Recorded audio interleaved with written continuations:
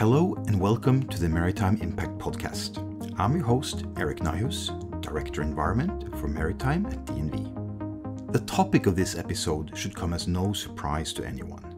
I'll be walking you through what happened at the latest IMO MEPC meeting, where most of us went in with clear expectations that a new regulatory framework for shipping decarbonization would be adopted. As I trust most of you are aware, that did not happen. So today I'll shed some light on what actually took place, what it means for the industry, and what we think will happen next. We hope you enjoy this episode. And now, on to the show.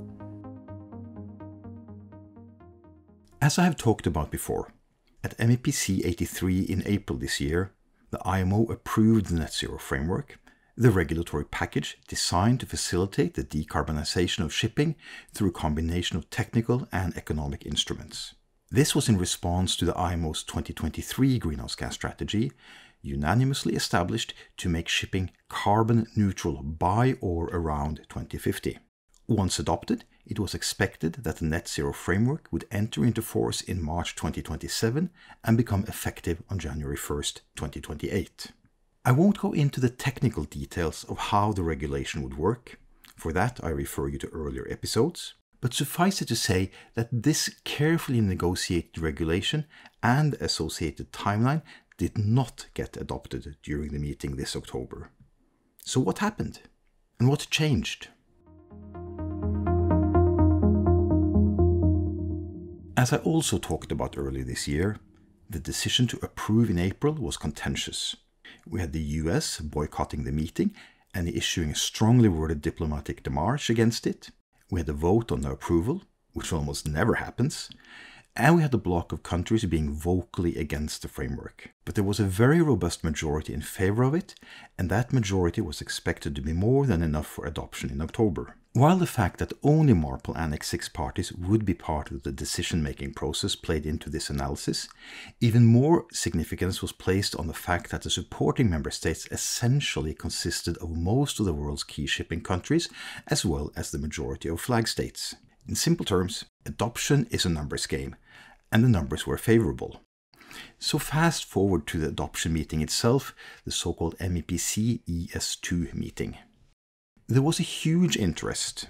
We had 1,500 delegates registered for physical participation, but there was also a tangible sense of nervousness at the meeting from the outset. This was driven in part by the importance of the decision at hand, but also by a rumor mill in overdrive, where much of the speculation centered around pressure being brought to bear by the United States. Everyone in attendance was aware of a press release issued by the US administration in August, making clear their opposition to the framework, along with a list of potential reciprocal actions against anyone voting for it. But this was generally seen as more of the same that we saw back in April. What was new, however, was all the stories spilling out about recent diplomatic pressure being brought to bear, pressure that went well beyond anything previously seen in public. Now, during the meeting, many member states raised concerns on a range of issues related to the framework. This included the governance and operation of the Net Zero Fund, the incomplete state of the life cycle assessment guidelines and the lack of a clear pathway for the use of LNG, the lack of agreement on how support of companies investing in low carbon solutions should be structured, and the lack of alternative fuel production capacity, these were all well known concerns, which had also been discussed at the time of approval at MPC 83. However, they were given even more emphasis this time around. Even more significantly, it was notable that many member states who were previously clear in their support of the new regulations were now being quiet, and it seemed obvious that this was to a very large degree due to the intense diplomatic pressure being felt from the United States. The implications soon became clear there was no longer full certainty about the strength of the support for the net zero framework.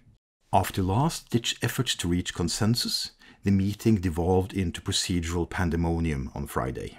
Multiple calls for various votes were made, procedural motions were tabled, and no clear consensus was in sight. The procedural wrangling was brought to an end by the Kingdom of Saudi Arabia, a vocal opponent of the Net Zero framework, who tabled a motion to adjourn the meeting for one year. Under the rules of procedure for MEPC, this had to be handled immediately. A vote on whether to adjourn the meeting was duly held and passed, and a majority of 57 member states voted for, 49 against, and 21 abstained. And that was it. Without any decisions being made on the framework itself, we are now on a one year coffee break and will resume the meeting where we left off in October 2026. So, where do we stand now? First off, I want to stress that this was an extraordinary session of the MEPC in more than just name. It's really the first time I have seen geopolitics intrude in such a way. One point which is important to emphasize is that we have not made any decision on the framework itself. We have merely agreed to adjourn the discussions and resume in one year's time. So the framework is not dead, it's not agreed. Instead, it is simply sitting in the procedural equivalence of purgatory until we reconvene. Of course, the envisaged entry into force date of March 2027 is blown and has been pushed back by at least a year. And this was reflected in the proceedings the week after. The Intersessional Working Group on Greenhouse Gases met as planned and, as instructed by MPC 83, continued its deliberations on developing the guidelines which underpin the framework. In light of what had happened the week before, it has to be admitted that the energy level was not what it would have been if the framework had been adopted, and the sense of urgency was certainly not there. But in all fairness, there were good discussions on issues such as fuel certification, LCA guidelines, the fund and reward mechanisms, greenhouse gas fuel intensity calculation guidelines, and the greenhouse gas fuel intensity registry. A fifth IMO greenhouse gas study was also discussed in detail. But no significant decisions were made, and the technical work will continue at the next intersessional meeting and during MEPC 84 itself, which have been arranged to take place back to back in April 2026.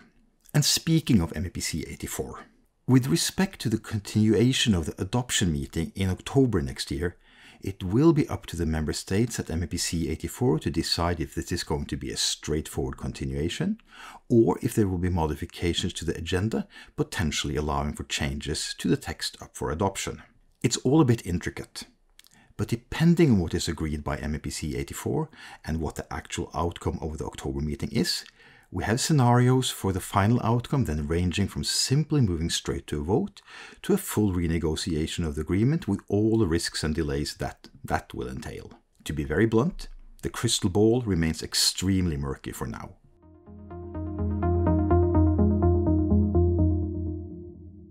So, a quick summary. The IMO Net Zero framework is not dead. The adoption meeting was merely adjourned, giving the IMO a one year postponement of the decision whether to adopt or not. That also gives the MEPC one year to further work on the technical guidelines, maybe alleviating some of the concerns that have been raised. But that does not change the underlying political question. Will the position of the USA change in a year? And I think the answer to that is a clear no. That then begs a question of how other member states will respond to US pressure next time around. In the coming year, I expect to see significant efforts expended at finding practical tweaks which could allow the framework to survive the political pressures. But only time will tell if that is possible. You've been listening to the Maritime Impact podcast from DNV with me, Eirik Nyhus. Later this year, we will be back with more on the UK and the EU, no surprises there, and who knows what else. But it will all be about shipping's journey towards decarbonisation. If you enjoyed this episode, please don't forget to give us a rating or a review. Thank you for listening.